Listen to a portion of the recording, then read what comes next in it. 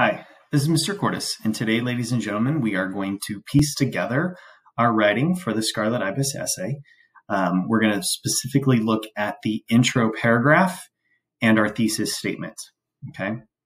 You have this document, which we have pulled apart all of the symbols of the birds, discovered what they mean, connected it with the theme of our story.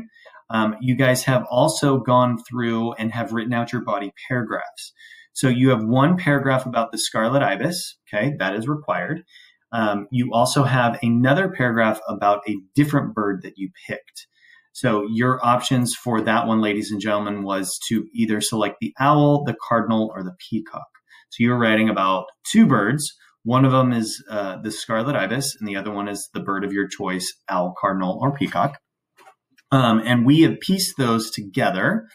Um, but today, our goal, ladies and gentlemen, is to write out our intro paragraph. So you have this document in front of you. And one of the things that you will notice is that it has an additional sentence at the beginning. So normally paragraphs will have at least five sentences and they guide us into our thesis statement, the point that we're trying to prove. Okay. And so it goes a very general and then it kind of narrows in and you hit home with that thesis statement and then you begin to talk about what you want to talk about. Um, we have only done thus far, kind of move things around here. Um, we have only done the third sentence, the fourth sentence, and the fifth sentence. Okay, we did that for of mice and men. We did that for um, uh, the necklace looking at the scarlet ibis, we're kind of we're we're expanding our skills. Okay, understanding the symbols and how it connects to the theme was a big thing for our body paragraphs. Now we're going to translate that over to our intro. So you will see this sentence first, but of course we don't do anything logical. We're going to do things a little bit backwards. Okay. So the very first thing is you need to craft a sentence with um, the author and the title. So you have the Scarlet Ibis. Okay. You have the Scarlet Ibis, and you also have uh, our author. His name is James Hurst. Okay. And you need to piece that together into a story. You can't really say the Scarlet Ibis is about the Scarlet Ibis because that's kind of like Curly's wife is Curly's wife. The Scarlet Ibis by James Hurst is a story of, and you kind of give a, a, a detail. Two brother, two siblings, two brothers living life together, um, overcoming uh, obstacles, overcoming handicaps, right? You kind of want to give a, a small introduction so that it clues readers into what the story is about. Okay. So that's your very first one, ladies and gentlemen. Can you please take a moment and mark in your author and title? Start here because that's the easiest. Okay. The second one is to introduce your characters, and you've got two characters. You have the narrator, Okay. And then you also have Doodle. So here your goal is to introduce them. I would suggest do it in, in the same sentence, not make two. Who is the narrator? The narrator is the person telling the story about his brother Doodle. Okay. Doodle is a handicapped boy who's taken care of by his brother, comma, the narrator, right? Because the narrator does not have a name, it, it, will sound a little bit more difficult, but you just need to introduce who they are, right? Mr. Cordes is my English teacher. Gives us just enough information that you know and have a point of reference. All right. So the narrator, who's the narrator? The narrator tells the story of his time with his brother Doodle. Okay. Something that kind of clues us into these, these are the characters that we are referencing to. All right. So take a moment, pause, go ahead and get sentence number three, go ahead and get sentence number four. And now that we've come back, um, we're going to go on to our thesis statement. That's the point we're trying to prove. Now, you're going to need to construct this together because it's contingent on what you're writing about. So just like when you wrote about um, of mice and men and the necklace, and you kind of picked different words and put them into a sentence, that's going to be the same thing here. And you have to remember back to this chart because certain things are going to come into play. Theme words are going to come into play, how it connects to our characters, the emotions that are being projected. So a lot of this chart is going to come across with this sentence, the point you're trying to prove. So the point I'm trying to prove here is um, the bird represents, illustrates, demonstrates, shows, Okay.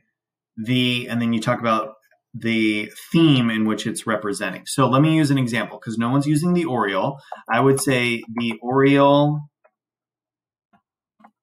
bird, um, and I'm going to pick one of my verbs, illustrates, demonstrates, or shows. Okay, so I'm going to pick one of those words. The theme of blank through the characters of through the actually through the character of oh through Doodle's character.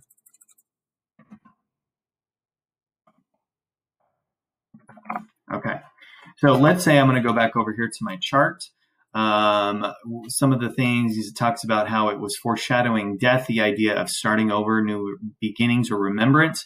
So if you need to use multiple ones, that's fine. So the Oriole bird, I'm going to use the word illustrates. I'm going to highlight that one because I like that. The Oriole bird illustrates the theme of um, new beginnings. Okay, new beginnings through Doodle's character. Now, because you are writing about also the scarlet ibis and you've got a different bird, you kind of need to piece them together. So you may act, it may be two sentences at, at the starting and then we'll combine them together. Okay. But our goal right now is to make sure that they, that we have all the information. So the blank bird, and then you're going to pick your verbs, illustrates, demonstrates, shows, whichever, the theme of blank, and then through uh, the relationship of, of the two brothers, through the events that happen to Doodle, through the experience of um, having having having handicaps. Okay, so if you need to make two sentences right now, you can do that if you've picked like the owl and the scarlet ibis and both are referencing death, you could probably say the scarlet ibis and owl birds illustrate the theme of death through Doodle's interactions. Like you can kind of combine them, right? Um, the idea of even the scarlet ibis being an outcast and the peacock being Doodle's desire to be perfect could coincide. So the peacock and the scarlet ibis demonstrate Doodle the theme of uh, being an outcast and wanting to be accepted by Doodle, right? Or through Doodle's experience. So switch these around. This is a little bit more complicated because you're taking two different things as well as the other and meshing them all together. Um, I would actually recommend uh, if you want to craft out the sentence, send it over to me in a chat or in a message, and we'll be able to kind of fine tune it. All right. But at this point, fill in the blanks. The blank bird or birds pick one of your verbs. Okay, pick one of these illustrates, demonstrates, or shows the theme of blank through through what? Through Doodle's interactions, through the siblings, through the narrator's pride. How does that work? Okay. So pause. Let's put get our thesis down. And at this point, you now have three sentences, okay, or four. I would really prefer for the thesis to be one sentence so we can combine those together. This right here, ladies and gentlemen, is, is the biggest part. This is a general sentence regarding your topic. Now, you're not talking about Doodle and you're not talking about the narrator. Okay. You are in referencing to the birds and how they are symbols, but you are making a general sentence right now about how symbols help convey um, a message or theme. That's what you're doing. You're giving me a general statement about how symbols help convey a message or theme. That could be your sentence if you wanted it to be. It's a little bland, but that's what you're doing. Okay. So symbols in literature help articulate a message that's being said by the author, right? Um, in every story, there is a symbol that represents a bigger idea than itself. Okay. You are finding a way to introduce that concept. You can introduce the themes you want to talk about. What does it mean to be an outcast? What does it mean to um, have death constantly looming around you? Okay. What are those bigger themes? And, and you could explain that. The desire to be perfect haunts people in their, you know, uh, haunts them if they are handicapped or seen as less than. Okay. So your goal right here is to craft a sentence that introduces that. You're not going to reference doodle. Okay. Um, no reference to doodle. Whoops. Capitalize doodle because he's a pronoun. Um, or proper name. No reference to doodle or the narrator okay, or the scarlet ibis bird, or any. Uh, you're not even not even worried about the birds, okay. So you're going to craft a sentence that introduces how symbols convey some sort of theme or message or idea, okay. So you'll notice that there is a number two sentence. And by the time we get to our next writing or the writing after that, you'll be going for five strong sentences in your introduction. Okay. Um, we we guide into these because they're a little bit more abstract. But now this is your what third, fourth writing. We should be able to craft a general sentence that helps guide us in to what's going on. Okay. Um, that's that's the that's the key ticket to writing. You you guide someone in to where they need to be. Okay. So take a moment. You're to have four sentences. Again, if you have two sentences down here for your thesis, let's combine them into one. If you want to send me your thesis in the chat or in a message, I'll take a look at it and we can piece it all together. But our goal right now, ladies and gentlemen, is to make sure that we have all of these constructed.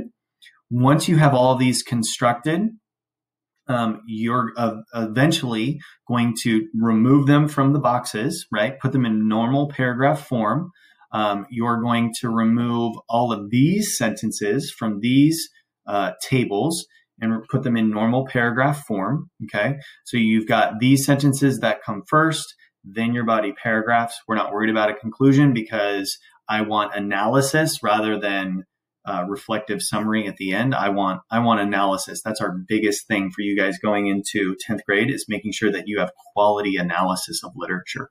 Okay. Message me if you have any questions or concerns. Get started on those sentences. I will talk to you guys soon.